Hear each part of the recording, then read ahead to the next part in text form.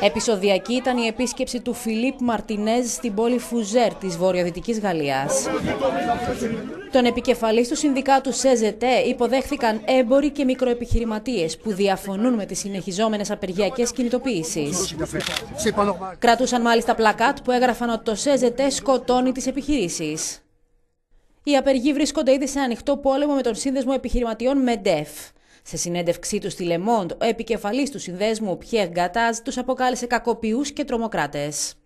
Euh, Είναι σκανδαλώδες να υπάρχει τέτοιο μένος απέναντι σε ένα συνδικάτο και ο κύριος Γκατάζ με αυτά που είπε χθες είναι υπόλογος. Γιατί το να μιλάς για τρομοκρατία σε μια χώρα που έζησε ό,τι έζησε είναι απολύτως εξωφρενικό.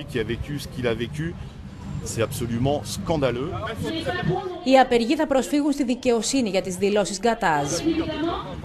Ο εκπρόσωπος των επιχειρηματιών κάλεσε από τη μεριά του τις εταιρείες να μηνύσουν τους απεργούς για παρεμπόδιση του δικαιώματος στην εργασία.